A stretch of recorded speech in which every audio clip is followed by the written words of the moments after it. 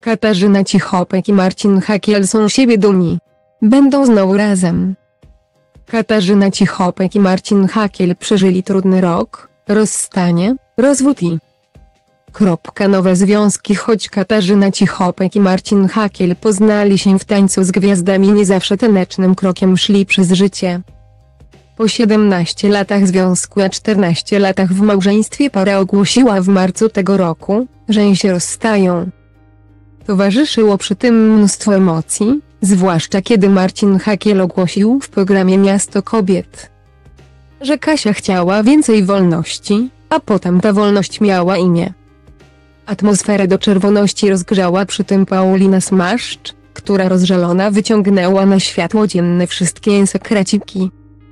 Przy okazji też ujawniła, że Kasia i Maciej Kurzajewski pracujący przy programie Pytanie na śniadanie są parą. Co tu się działo?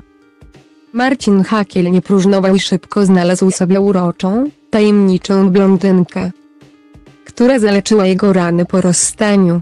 Z kolei Kasia i Maciej przeszli na kolejny etap związku i na palcu aktorki można podziwiać piękny pierścionek zaręczynowy. Wszystko wskazuje na to, że relacje byłych małżonków są na tyle dobre, że są w stanie funkcjonować obok siebie. Czyżby zadziałała na nich magia nadchodzących świąt? Wszystko na to wskazuje.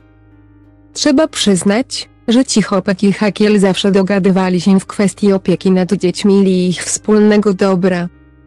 To dlatego zdecydowali się na naprzemienne wychowywanie dzieci w trybie tygodniowym.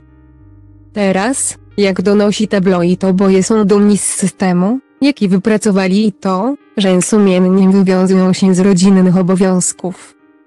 Zgodnie działają na rzecz rodziny i dzieci mówi źródło serwisu Jastrząb Post.